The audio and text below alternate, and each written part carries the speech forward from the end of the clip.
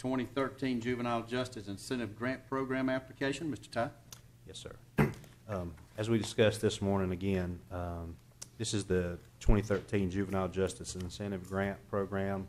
This is an initiative that was put forth by Governor Deal to try and reduce the number of um, youths we see in, in uh, confinement or the, the uh, recidivism rate where we see them um, go, you know, going back several times. Uh, So we've been working with um, our juvenile court judge, judge council, and uh, putting together this, this uh, program. Um, The grant award will be for up to $500,000. Um, We will provide, we will be required to submit a detailed budget and detailed um, explanation of the program, but because of the time constraints, we needed to go ahead and bring the, um, the application to you for your approval. And, and if you approve it, ask that the chairman be authorized to sign um, the assurances, some of the assurances and certifications that are kind of standard with these grants.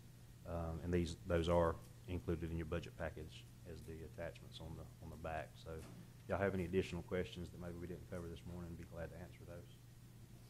Any questions for Mr. Ty?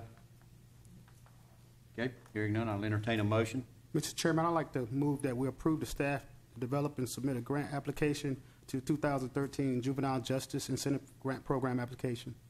Okay, we have a motion, I hear a second. Second. We have a second. Any other discussion on the motion? All right, hearing none, we'll call the vote. All in favor signify by aye. Aye. Any opposed, like sign. Hearing none, motion carries. Agenda